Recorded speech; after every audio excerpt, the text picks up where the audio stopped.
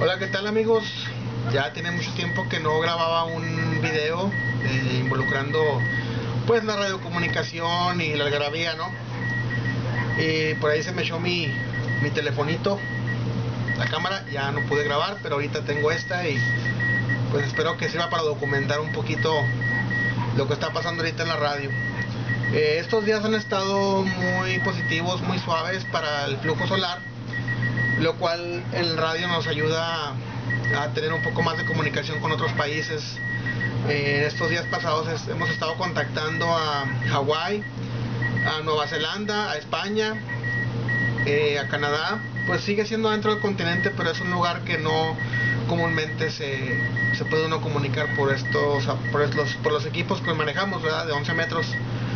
Este, así es de que pues hago este pequeño video, todo el día ha estado muy intensa la propagación de señales. Ahorita estoy monitoreando la banda de 10 metros en la 28275, 28275 MHz y hay bastante actividad en telegrafía, que hay mucha gente todavía que lo usa tanto como educacional como educativo, perdón, este, para hacer sus exámenes, sacar su licencia de aficionado, en fin, tanto otros para hacer comunicación por medio de telegrafía, que es un poco más efectiva que la de voz.